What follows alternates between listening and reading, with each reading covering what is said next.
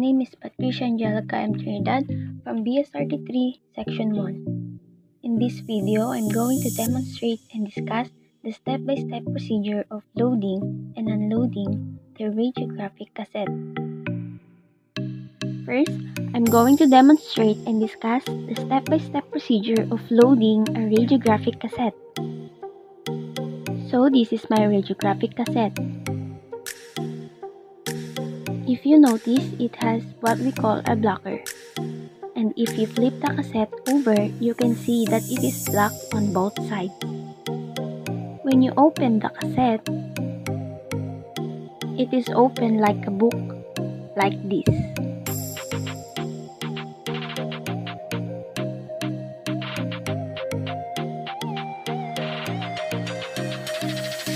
And as you can see here, the white part this is the intensifying screen. The intensifying screen attached both inner sides of the cassette.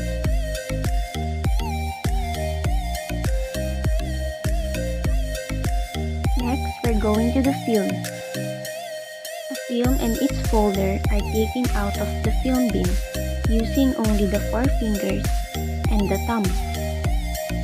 If more fingers are used, this involves the risk of causing a crack in the film that leads to the appearance of a black moon-shaped mark on the film when it is developed. Take note that the X-ray film should be correctly positioned within the cassette by touching only the corners, continuing to hold the film the same. Lift it up with a free hand on the underside so that the lower part of the folder hangs down freely. This way, the film is placed in the cassette and the folder is carefully removed.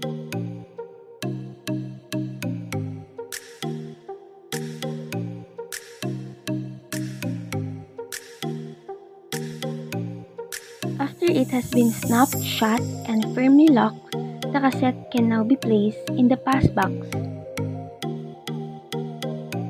The next one is the unloading of the radiographic cassette. Once the exposed film is back in the dark room, we will now open the cassette.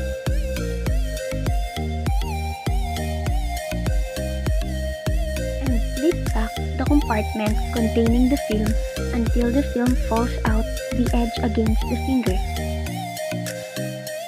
It should be taken with your four fingers and your thumb only. Fasten with the four corners of the clip of the hanger or slip into the slot of the side frame.